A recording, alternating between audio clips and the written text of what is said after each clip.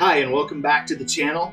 Thanks for joining in today and in this video this is part two of a two-part series on the Internet of Things all the fun little gadgets and gizmos that I have uh, working here in the solar shed and so I hope that this video is enjoyable to you but I'm gonna ask that you hang with me because we're gonna go over a lot of really cool stuff today. Some of it may get a little bit involved, some of it may get a little bit technical, but at the end of the day, it's fun things to play with.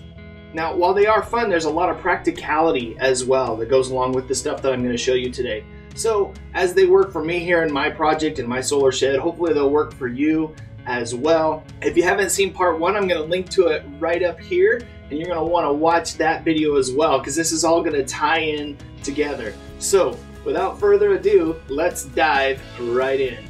Welcome to the channel where we talk about solar power, web technology, and life stories. If these are interesting topics to you, go ahead and subscribe and hit that bell to be notified when we have new videos. So again, thanks for joining us, and we hope that you enjoy the video. So the first device that I want to show you today is this wireless Reolink outdoor cam. Now when I say wireless, it just sends the signal wirelessly through an internet connection, like through a, a Wi-Fi router um, but it, it is powered uh, by the cable here. But this is an outdoor camera. It is weatherproof, um, rainproof, and dustproof. I've had it outside in the Phoenix weather for over a year. There have been times when it's gotten 120 degrees, and this thing works fantastic. It also has night vision, and so I have it mounted to the pole that uh, also has my weather station on it, which is featured in the first part of this series on the Internet of Things. But this is super, super impressive. I'll show you some video shots and a screenshot of it here in just a minute. But and the link will be in the description below to this camera. But this is a very, very good product, and I'm very, very impressed with Reolink and what they've been able to offer at the price point in which they're able to offer it. So super, super cool stuff. So the next camera that I want to show you is another Reolink that I have actually mounted inside of the shed for security purposes. Now I can hook this camera into their cloud services uh, to store any video or any motion that's detected. I can also get notified if there's any video or motion that gets detected here inside of the shed, either with a text message or a push alert from the app, and I can go in and then look at the video that's online with that surveillance. Now this is wireless, so it is um, connected to the wireless internet router that I have. And then that wire that you see back here, that goes outside to the solar panel that I'll show you here in just a moment because this camera is completely self-sustaining all via solar. I'm not plugged into anything. It's not plugged into the charge controller. It's not plugged into an outlet. It's completely self-sufficient and you'll see that in a minute. But again, it is um, front facing the door of the shed, so any activity is monitored, and so it is tied into the wireless router that I have here you'll want to check out. There's a video specifically on that as well as in part one of the Internet of Things. And so, yeah, there's that camera. Super, super impressed with Reolink and the products that they offer at the price point they're offering. As mentioned, the camera that's inside the shed is powered by its own solar panel. Now I have this mounted to the roof. Uh, there's the other camera that we saw moments ago in the weather station and the, the solar panels, but we come over here and that camera that's featured inside the shed has its own solar panel. And I have never ever had to plug that camera in and I've had it for a year and it is completely self-sufficient, self-sustaining. So a great option for any off-grid project. So yeah, there's the solar panel for that camera that we saw inside. Um, really, really impressed with Reolink, again, and their price points and what they're able to offer. Okay, let's go into my folder here that I have set for Shed, and we're gonna click on Reolink. And I'm gonna show you the devices that I have connected to my cellular router here that was featured in part one. And let's go ahead and look at this one here. This is the camera that we just looked at here inside the shed. So as you can see, I'm actually videotaping myself right now, and this is all done over the wireless internet. And you can see up here in the corner, it's streaming at almost two megs per second. And so very, very cool. I can swipe over and I can look at the camera that's outside that we just uh, featured in the video moments ago. And so, yeah, it's it's really really impressive some of the things that Reolink is is doing, and their cameras are really really inexpensive for what you get. And so, I would highly recommend checking them out for any off-grid video uh, surveillance, any wireless video that you need. Um, go ahead and check them out. Uh, you'll be glad that you did. So the next device that I want to show you is this smart plug by TP-Link, or also known as Kasa, K-A-S-A. And if you'll notice down here, I have plug one and plug two. Right now I'm only utilizing plug one. And if you come up here, you'll notice that there is a Wi-Fi connection. Uh, this states that this plug is actually connected to the internet. Now I can turn this side on, which which turns on a fan, and I'll show you why I'm using that here in a moment. And I can also turn this side on, but I don't have anything connected to that. So let's follow this line down over here, and as it comes down, it actually links to this fan, which I have blowing into the inverter. Now, the reason why this is so cool is I can use the temperature that I have being recorded through my ambient weather station. As you can see right here, the indoor temperature is 67 degrees and the outside temperature is 90. But when this indoor temperature reaches a certain degree as measured by the ambient weather station, through a technology called if this then that, then I can tell this smart switch to turn on this fan. And so I'm actually going to demonstrate that for you guys now so that you can see these things working together in conjunction as the Internet of Things are supposed to do, making our lives easier, our, our homes smarter, our solar sheds smarter. So let's watch that and see how this works now. Okay, let's go ahead and click on the shed folder again and let's go into IFTTT. So what I want to show you here is a feature that I've got set up with the Kasa fan. And if we look at the settings here, what I've got is if the indoor temperature falls below 72 degrees, then turn off the fan.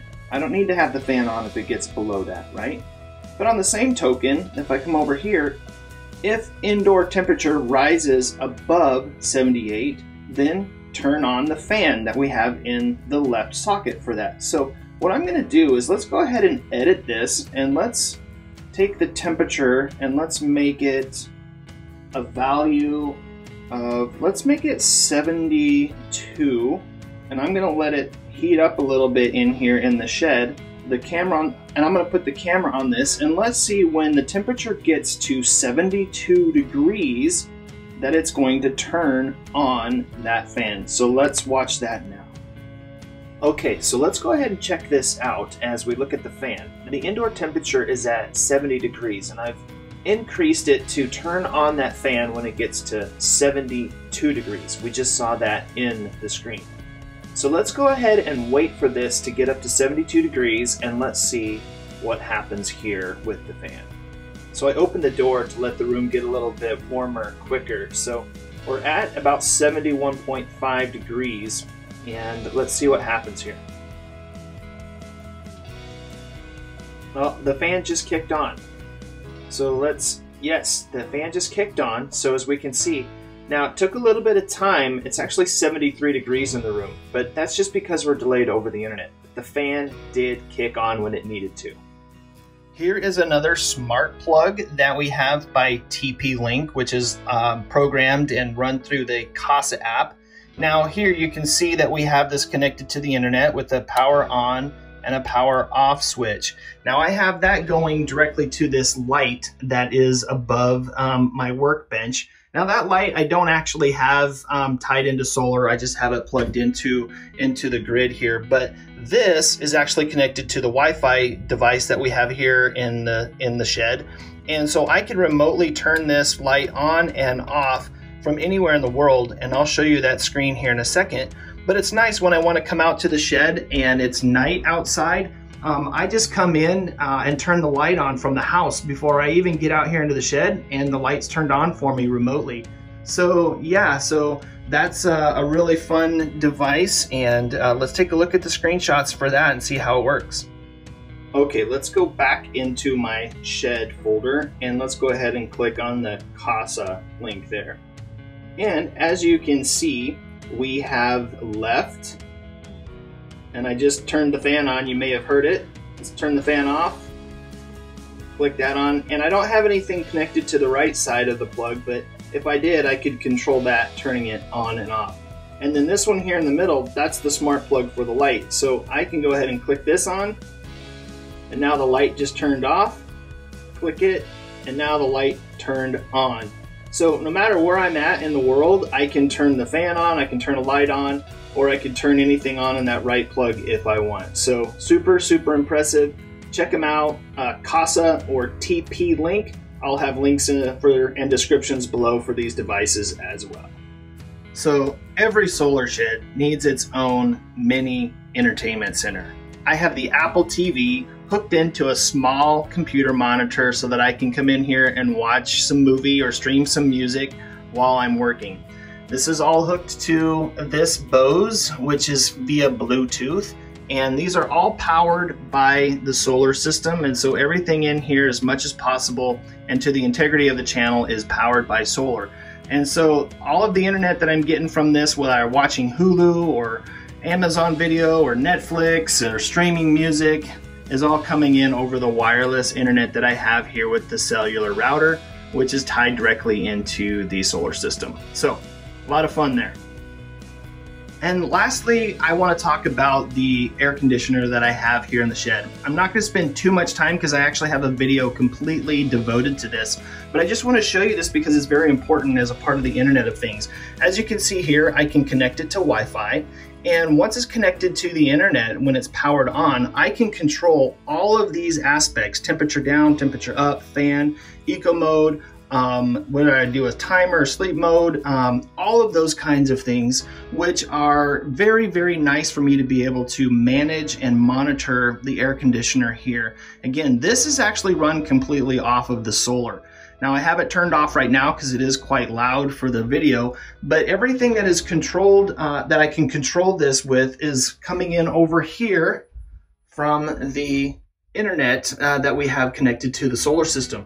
So yeah, very, very crucial and very, very powerful part of the Internet of Things here in the solar shed is this Toshiba air conditioner. So check out that video. But yeah, I have to mention this because it's certainly a very powerful Internet of Thing device here in the shed.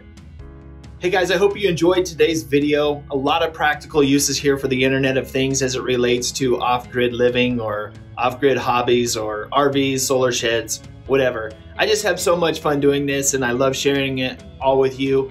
Please tell me what you are using the Internet of Things to do and the projects that you are working on and how much fun those are. Share your videos online, link to them, comment below, and just let us know what's going on. And so, yeah, thanks for joining us today. We'll talk to you guys later. Bye.